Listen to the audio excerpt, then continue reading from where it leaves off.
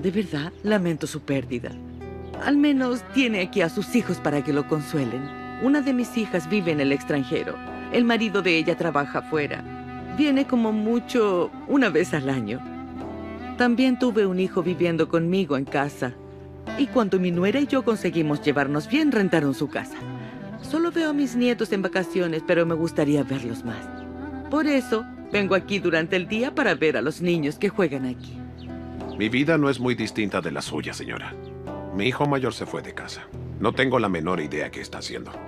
Tengo una hija que vive en el extranjero al igual que la suya. Vive en Inglaterra. Pero gracias a Dios, ella me llama siempre.